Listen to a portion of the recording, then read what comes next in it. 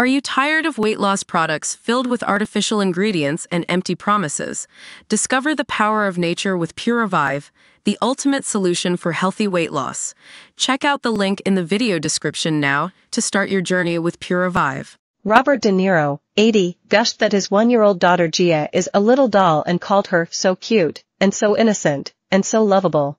He and his girlfriend Tiffany Chen, 45, welcomed Gia last April and announced her arrival a few weeks later, sending shockwaves through the public. Now a father of seven, with children ranging in age from 52 to 1 Robert has raved about the joys of being a parent even at his advanced age. I'm lucky, the Goodfellas actor explained. I have had help doing it with the kids, with the babies, so that makes it easier, more manageable. The taxi driver star also shared the adorable first word that little Gia recently attempted to say, in an interview with Holt Living. My girlfriend told me that she said a word close to dada yesterday. I wasn't there, but she was looking for something yesterday, and she said the word, he said. Every little word that she says, or every little beginning of a word that she's starting to say now, is very sweet and adorable. It's that simple. De Niro recently went viral for a splashy appearance outside Donald Trump's hush money trial in Manhattan, where he headlined a press conference for the Joe Biden campaign.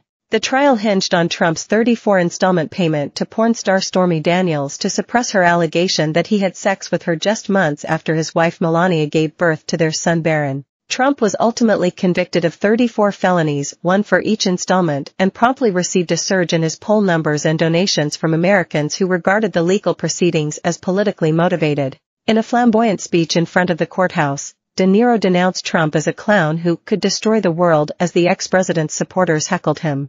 Chelsea Handler, who is also a vociferously outspoken critic of Trump, revealed in early May that she was infatuated with De Niro.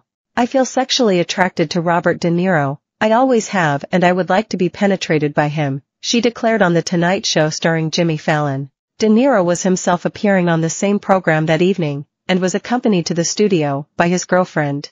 I couldn't even go near him backstage because his girlfriend's back there and I don't want her to think that I'm making a move, but I want to make a move, said Handler. Her remarks came months after Handler roasted De Niro as part of a handful of horny old men who cannot restrain themselves from having children. She also took aim at Al Pacino, 84, who has four children, Alec Baldwin, 66, who has eight children, and Elon Musk, 52, who has 11 children.